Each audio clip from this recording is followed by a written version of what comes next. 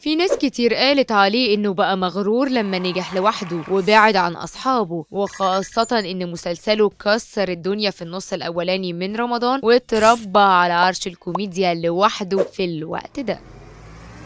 هشام ماجد اللي الناس قالت عليه مغرور. طلعت مش دي حقيقته خالص. كشف انه عمره ما كان مغرور بس هو بيتفهم غلط كتير. نتيجة إنه انطوائي ومش بيختلط بالناس كتير وملوش في الاجتماعيات واللقاءات والحاجات اللي زي دي. ومش بس مش مغرور لأ ده بيتمنى من ربنا إنه ما يبقاش مغرور في يوم من الأيام أصلا. لأن الغرور ده ممكن يجيب جنان للبني آدم هو والشهرة. لأن الإنسان بيتحول من محدش يعرفه لواحد واحد كل الناس بتشاور عليه وعاوزة تتصور معاه فمش كل الناس تعرف تتعامل مع وضعها بعد التغيير اللي بيحصل. وهشام كمان كان مركز في حياته إن الشهرة ما تغيروش بالذات لما ما كانش معاه فلوس. وفجأة بقت الناس بتديله فلوس كتير قوي وهو مش عارف يعمل إيه فكان بيخلي باله جدا إنه ما يحصلوش أي تغييرات كبيرة نتيجة اللي بيحصل معاه.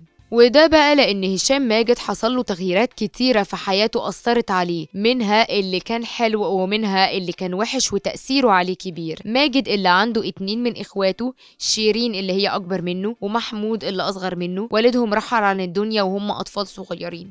والموضوع ده حصل فجأة كان عنده 13 سنة. حصل له تروما لما والده رحل عن الدنيا بسبب المفاجأة وشكل حياته بعدها اتغير لأن والدته المدرسة بقت مسؤولة عنه هو وإخواته. وبالتالي الدنيا اتغيرت تماما. بس مش دي المرحلة المفاجأة الوحيدة اللي حصلت في حياة هشام ماجد لأن بعد ما خلص كلية الهندسة قرر إنه يبقى ممثل. وقتها طبعا كان اتعرف على أحمد فهمي وشيكو كان فهمي مشجعه جدا على الخطوة دي لأنهم بدأوا الموضوع في الأصل في كتابة مش تمثيل. شيكو بقى كان عايز يكمل في مجال الهندسة وأقنعوه يشتغل معاهم. وكان وقتها عملوا مسلسل أفيش وتأفيش وكانوا بياخدوا على كتابة الحلقة 800 جنيه وعلى التمثيل 300 بس. وبعدها عملوا ورقة شفرة اللي كل واحد فيهم شغال شغلانة تانية جنبه.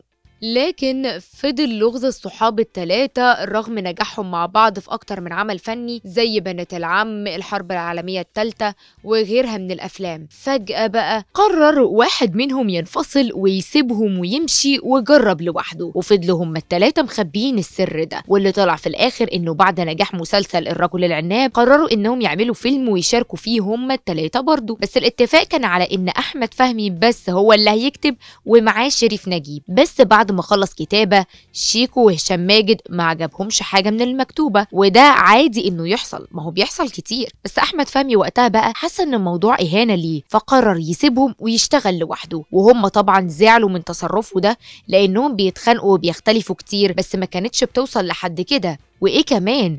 هشام ماجد وشيكو كمان يختلفوا كتير بس عمر ما حد فيهم قال للتاني مش مكمل. وعشان كده هشام شايف إن عمرهم ما هينفع يرجعوا تيم ثلاثي تاني خاصة إن كل واحد فيهم نجح لوحده. فالموضوع بقى صعب. أما بقى توقعه انه مسلسل أشغال شقة ينجح كده فدي حاجة ما كانش متوقعها ابدا. وده لأنه كان حاسس إنه طبقة كلاسي شوية بس المسلسل نجح في الطبقة الشعبية. وده بقى عشان ضيوف الشرف اللي فيه اللي الحلقات أصلا كانت معتمدة عليهم حسب كلامهم. وكمان المسلسل لمس ستات كتيرة جدا ودي بقى جات له من عند ربنا وعدت توقعاته هشام ماجد شايف إنه بيبيع للناس فن عشان كده مش هنلاقيه شخص السوشيال ولا ليه صور كتير ولا أشكال ولاده معروفة لناس كتير. وده بناء على قرار منه لأنه مش بيبيع بحياته الشخصية. وهو مش معترض على اللي بيعمل كده بس هو شايف إن هو حر محتاج يحافظ على حياته الشخصية بالشكل اللي هو يحبه